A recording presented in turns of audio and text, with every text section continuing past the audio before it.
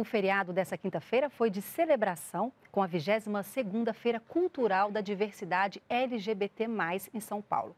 O evento faz parte das programações que marcam o mês do orgulho LGBTQIA+, e segue até domingo. Feriado na capital paulista foi repleto de música, comidas, arte, informação e muito orgulho com a 22ª Feira Cultural da Diversidade LGBT+. O evento faz parte da programação da 27ª Parada do Orgulho LGBT+, que conta ainda com diversas atividades, como palestras e rodas de conversa. Com o tema políticas sociais para LGBT+, queremos por inteiro e não pela metade, a parada tem a expectativa de levar mais de 4 milhões de pessoas às ruas de São Paulo.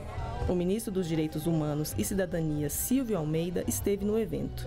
A secretária nacional dos Direitos das Pessoas LGBTQIA+, Similarra, destaca algumas agendas do evento a partir desta sexta-feira. Nós vamos ter um seminário que comemora, celebra a nossa decisão da STF em criminalizar LGBTfobia, a marcha trans, no sábado, a caminhada lésbica e no domingo a grande parada na Paulista.